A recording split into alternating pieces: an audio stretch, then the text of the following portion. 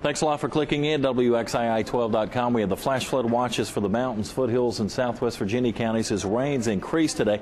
Today into tonight, two to four inches in the mountains and foothills, maybe an inch or two in the Piedmont. And as cloudy and cool conditions give way to the increasing rains, we'll also have the increasing likelihood and possibility of thunder as well, and what could be some damaging storms coming our way. We've already seen them have the history of producing tornadoes and damaging wind to structures over Mississippi and moving into parts of Alabama. And we'll watch that during the day today as the ante, gets raised tonight, folks, and what could be a pretty active night tonight.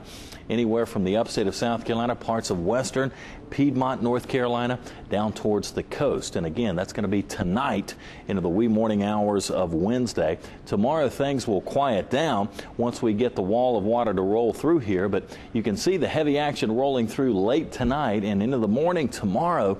And then it begins to shift to the east. Cold enough for a snow changeover in the mountains with leftover snow showers during the day tomorrow. And we'll be plenty cold here for the rest of the week as we clear out breezy and cold tomorrow. Highs struggling to get above 50 for the next week, believe it or not. And morning lows well down into the 20s. Would you believe parts of the deep south may see snow next week? We'll be talking more about that coming up.